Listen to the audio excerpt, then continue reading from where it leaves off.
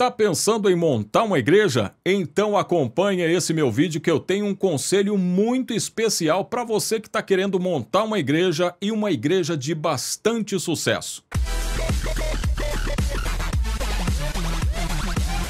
Antes de mais nada, já dá um like nesse vídeo e se você ainda não se inscreveu no nosso canal, faça isso agora, dá um clique aqui no botão inscrever-se e você vai ser notificado de todos os nossos vídeos. Mas uma coisa é importante, clica nesse sininho, aperta aí o sininho para você receber as notificações, senão você não vai ser notificado. Isso, muito obrigado. Não esqueça de compartilhar esse vídeo. Quando alguém tem algum problema numa igreja e pensa em sair dessa igreja para montar a sua própria igreja, ele logo vai atrás de.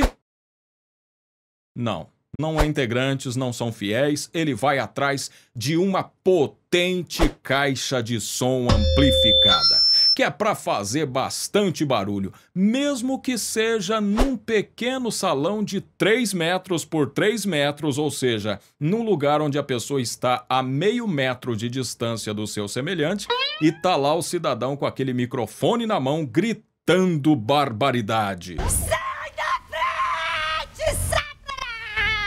Eu sei. Aí vai aparecer alguém aqui e vai dizer: Ah, Ney, mas e aqueles carros de som que passa na rua com aquele funk pesadão, você não critica? Não é porque tem gente que desrespeita a lei e usa um som alto no seu carro que a igreja vai fazer a mesma coisa. E lamentavelmente o que a gente tem visto é isso. A gente abre os jornais e olha lá: igreja sendo processada ou interditada porque o som muito alto incomodou vizinhos. Uma outra coisa que as pessoas vão atrás depois da caixa de som, o que é? O que é? Não, ainda não são os integrantes nem os fiéis. É um bom gasofilácio. Tem gente que não sabe o que é isso, mas é algo muito simples. É essa caixinha aqui, onde se põe dízimos, ofertas e contribuições. Depois disso, a pessoa vai atrás do quê? Não, ainda não são os fiéis. É atrás de cadeiras e bebedouro. Aliás, esse negócio de bebedouro parece que mais atrapalha do que ajuda. Porque tem gente que fica o dia todo na sua casa não toma água. Fica no trabalho não toma água. Chega na igreja, parece que dá uma sede e fica levantando toda hora para beber água. E não pode faltar nessa igreja a placa. Afinal, a placa é onde o cara vai colocar o nome que ele quiser, o nome que ele escolher. Mas aí você está perguntando, Ney, qual é o conselho que você dá para quem está pensando em montar uma igreja? O meu conselho é de Atos capítulo 2, versos 45 ao 47. Vamos acompanhar o que diz?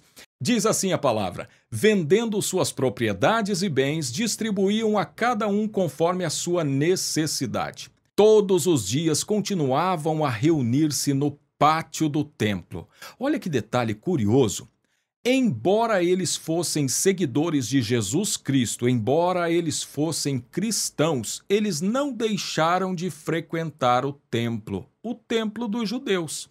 Será que é por respeito a Deus e pelos seus ancestrais? Bem, a palavra não explica, mas fato é que eles não viraram as costas para aquele lugar onde eles passaram boa parte da vida buscando e adorando a Deus ali. Eles continuaram mantendo os seus laços de união com aqueles judeus que também cultuavam a Deus naquele lugar e buscando a conversão deles, buscando apresentar Jesus a eles. E eles só saíram do templo quando foram expulsos pelos próprios judeus sacerdotes daquele lugar. Mas por eles eles não teriam saído do templo. Partiam o pão em suas casas e juntos participavam das refeições com alegria e sinceridade de coração, louvando a Deus e tendo a simpatia de todo o povo.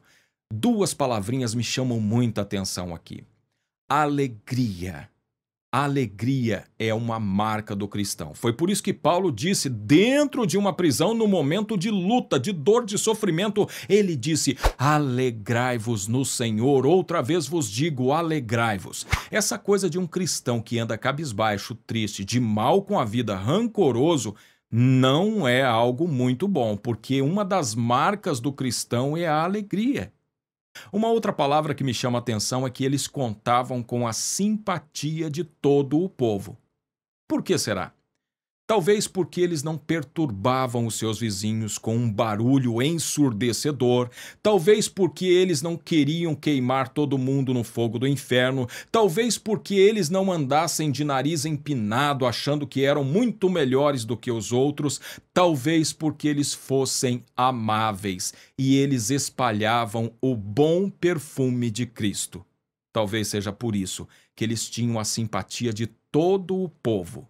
E o Senhor lhes acrescentava todos os dias os que iam sendo salvos. Em resumo, quando a igreja faz o que tem que ser feito, Deus acrescenta mais e mais os que vão sendo salvos. Aí você me pergunta, mas qual o seu conselho, Ney, para quem quer abrir uma igreja? O meu conselho, se você teve um desentendimento com a igreja onde você estava e você quer abrir uma igreja, o meu conselho não é diferente do conselho de Jesus. Se o teu irmão tem algo contra ti, vai ter com ele. Procura reconciliar-te com ele. Procura o perdão dele.